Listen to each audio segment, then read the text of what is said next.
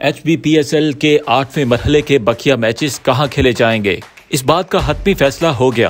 Pakistan cricket board PCB, management committee के chairman Najam Sethi का कहना है कि लाहौर और रावलपिंडी में मैचेस शेड्यूल के मुताबिक होंगे।